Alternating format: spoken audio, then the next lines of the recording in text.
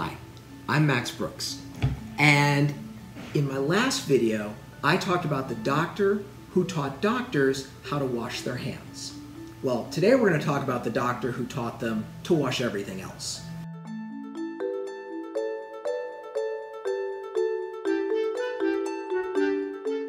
The term is antiseptic. Septic means infection, and right up until the mid 1800s, it was really easy to get an infection, especially when going to the doctor. Because back then, doctors thought that being just filthy and gross was still part of medicine. They didn't wash anything. They didn't wash their surgical gowns. They didn't wash their operating rooms. They didn't even wash their instruments, the tools that they used to operate on living patients. If you went into a doctor back then for stitches, they would sew you up with a dirty needle and dirty thread and wrap you in a dirty bandage, and you would get a horrible infection called gangrene. And usually back then, the best way to stop gangrene from spreading was to.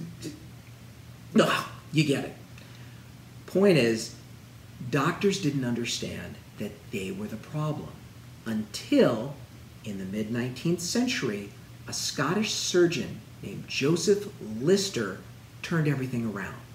Lister had been reading up on a crazy French chemist named Louis Pasteur who had this new fantastic idea that it was germs causing disease. He called it germ theory.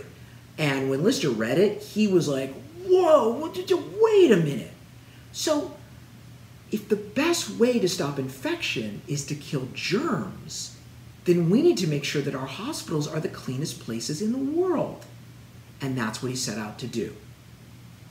He found this chemical called carbolic acid and used it as the world's first antiseptic.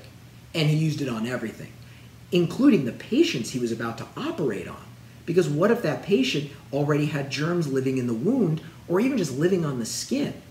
And that's why today, when you get cut, first thing you do, wash out the cut.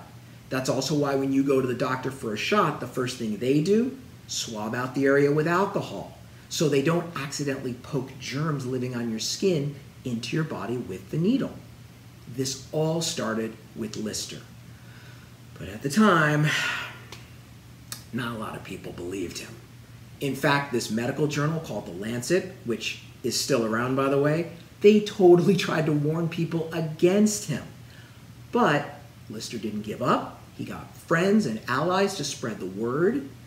And eventually, as people started to believe in germ theory, they started to trust Lister. And that's why today it is safe to go to the doctor because now they understand that the best way to keep us healthy is to keep everything clean.